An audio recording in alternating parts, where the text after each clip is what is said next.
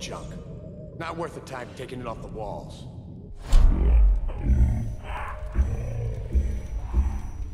See if them other two found something worth the trouble. Damn it! I know, here you are!